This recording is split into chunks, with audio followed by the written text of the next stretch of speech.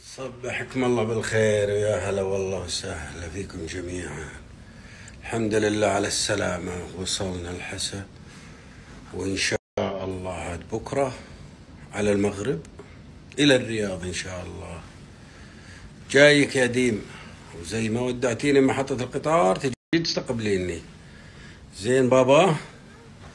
يا حبي لهالدمدومة الحين الحين وقت النوم والله أنا منعفل. طبعا قضينا إجازة إجازة منتجعات هدب. صراحة ممتعة جدا أسبوعين والله كأنه يومين. وأهم شيء الصدق هذا أهم شيء.